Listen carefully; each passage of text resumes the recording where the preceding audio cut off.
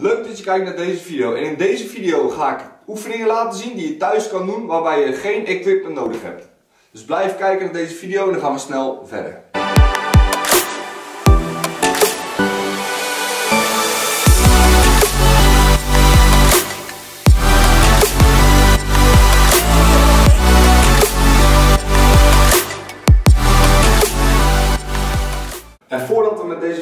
Beginnen wil ik nog zeggen dat vanavond om 8 uur mijn website online komt. En op mijn website komt een speciaal coachingpakket tevoorschijn.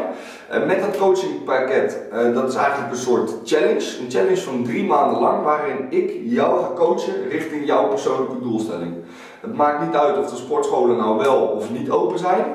Uh, stuur een foto of laat weten wat je allemaal in huis hebt. Dan maak ik daarvan een schema en dan kan je alsnog jouw persoonlijke doelstellingen behalen met mij als stok achter de deur, zodat je gemotiveerd blijft. Net als de volgende video beginnen we met de benen, daarna gaan we naar de rug toe, als derde spiergroep borst en als laatste spiergroep doen we de buikspieren.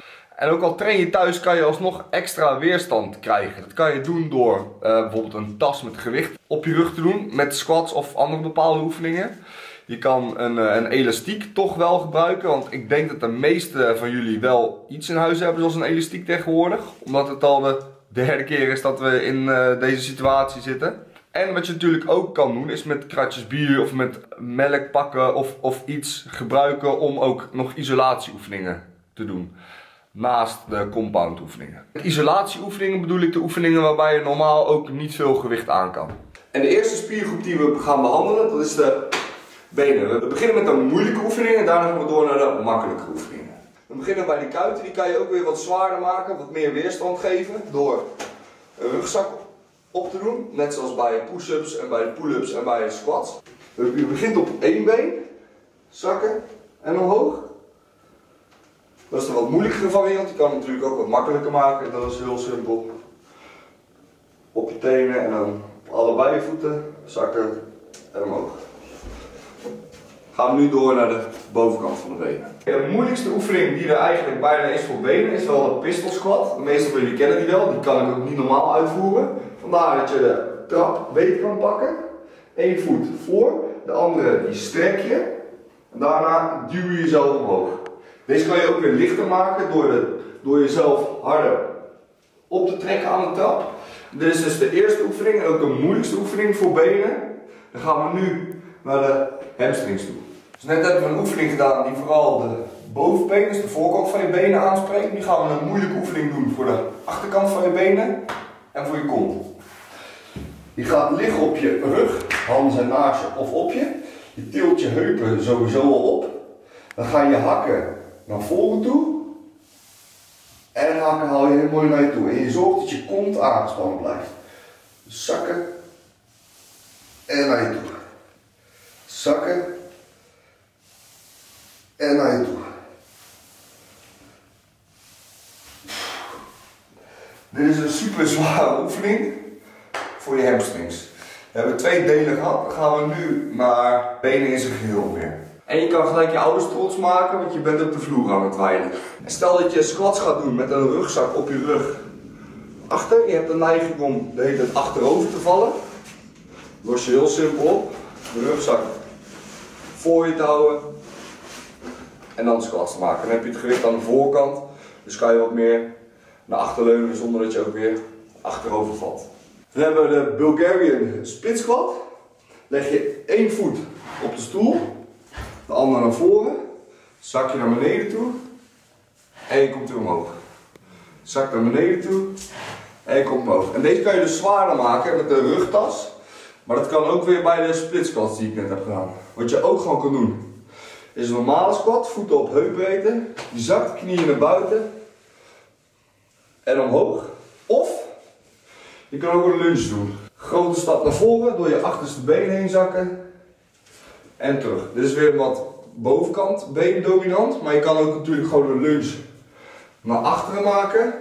En omhoog. Dan trainen we iets meer de billen.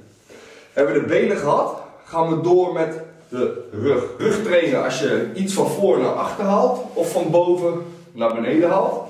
Kunnen we doen aan een trap met pull-ups. Die kan je ook weer wat zwaarder maken door een rugtas om te doen en uh, pak een melk of water of iets in die rugtas te doen. Dan ga je gewoon hangen aan de trap. En omhoog. Rustig terug. En omhoog. Ik zou het niet echt aanraden om het aan een deur of iets te doen, want je hebt kans dat de scharnieren eruit vallen. Uh, sommige mensen hebben wel een pull-up stang aan de deur zitten. En die kan je natuurlijk wel gebruiken om alsnog pull-ups te doen en je rug te trainen. We hebben één oefening voor rug gehad. Dan gaan we nu naar buiten toe om de tweede oefening te doen. De tweede oefening voor rug doen met een kratje bier. En ik word hier helaas niet door gesponsord. Ik heb liever dat ik gesponsord word door Bacardi, want bier dat drink ik eigenlijk bijna nooit.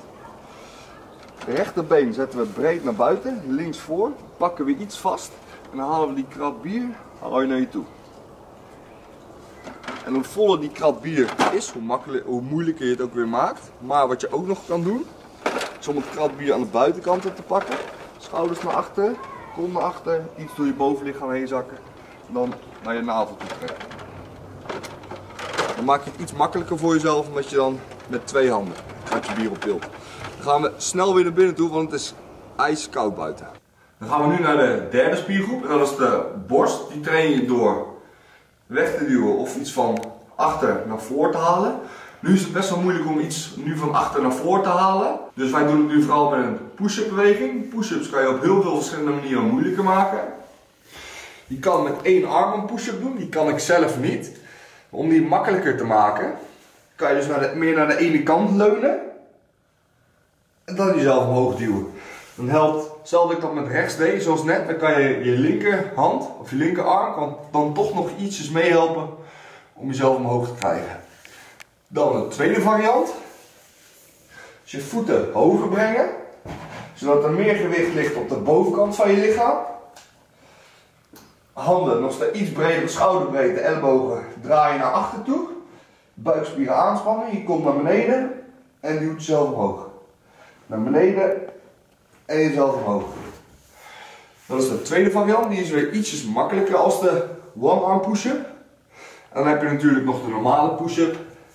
Ellebogen niet naar buiten, naar binnen draaien. En push-up op je knieën. En met een push-up kan je natuurlijk voor je borst doen, maar je kan het ook voor je schouders doen. Push-ups kan je natuurlijk ook weer zwaar maken met een tas. Dan hebben we voor de schouders ook. Je, je handen staan dicht bij je voeten. Iets bredere schouderbreedte, je zakt naar beneden toe en je duwt jezelf omhoog. Op deze manier lijkt heel erg op een shoulder press die je normaal met dumbbells doet in de sportschool. Dan hebben we de schouders gehad, dan hebben we ook nog de triceps. Daar kan je ook weer een stoel of iets bij pakken. Komt dicht bij de stoel, zakken en omhoog. Hoe verder je voeten weg zijn, hoe zwaarder hoe zwaarder je het voor jezelf maakt. Nu hebben we alles gehad. Borst, schouders en de triceps. Dan gaan we door naar het laatste en dat is de buik. Dan gaan we nu naar de buikspieren. Je hebt de rechte buikspieren, onderste buikspieren en de zijkant. Met, je, met de rechte buikspieren kan je een crunch doen. Handen achter je oren, voeten plat op de grond. Je komt recht omhoog. Zak terug. Recht omhoog. Zak weer terug. Dat is voor je rechte buikspieren. We hebben voor de onderste buikspieren kan je met je benen naar beneden zakken. En omhoog. Zakken. En omhoog. Maar je kan ze ook nog omhoog duwen. Kan ik er een combinatie van maken om het iets moeilijker te maken. Naar beneden. Omhoog. Duwen. Naar beneden. Omhoog. En recht naar boven uitduwen. Dan hebben we de rechte buikspieren en onderste buikspieren gehad. Gaan we naar de schuine buikspieren kan je bijvoorbeeld een pak melk of iets pakken, of die tas om het zwaarder te maken. Voeten hou je hoog, dan draai je van rechts naar links toe. Van rechts naar links. Je probeert je benen niet mee te draaien, maar die hou je recht voor je. En op deze manier train je ook de schouderbuikspieren. Heb je nou geen motivatie, of vind je het nog moeilijk om jezelf ertoe te zetten om buiten te gaan trainen?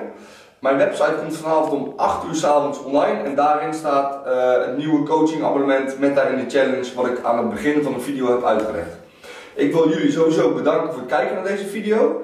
Ik zal hier in beeld de volgende video brengen waarbij ik eh, de training buiten heb gedaan. Ik wil jullie sowieso heel erg bedanken voor het kijken naar deze video. Doe een blauw duimpje omhoog. Laat me beneden weten wat voor soort video's ik over trainen nog moet maken om jullie te helpen tijdens deze lockdown. En dit allemaal gezegd hebben, zie ik jullie weer bij de volgende video. Ciao!